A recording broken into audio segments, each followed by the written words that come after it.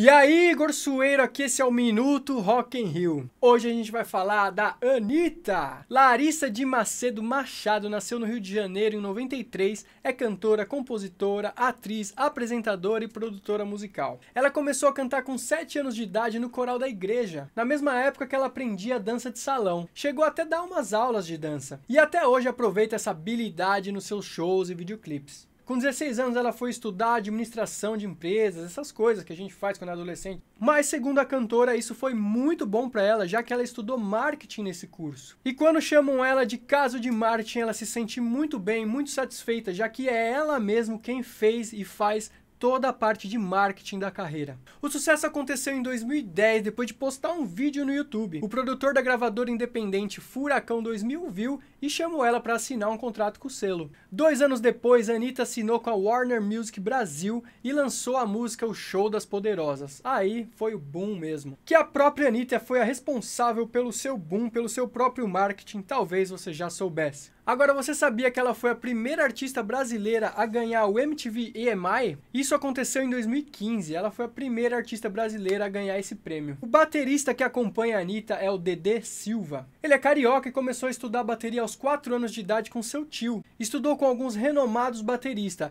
entre eles Netinho Batera, Cláudio Félix, Guilherme Gonçalves, Douglas Las Casas, Cristiano Galvão e Edu Ribeiro. Rapaz, Antes de tocar com a Anitta, Dedê já era renomado ali no meio gospel, já tinha gravado e tocado com muita gente. A Anitta toca dia 5 de outubro no Palco Mundo. Vai lá, vamos ver ela dançando, cantando. É legal. Presta atenção no Batera. Ele quebra pra caramba, meu. Gospel Shops à vontade. Claro que eu toquei um dos maiores sucessos da Anitta. Fica aí, assiste, vamos curtir junto. Valeu! Uh, uh, uh,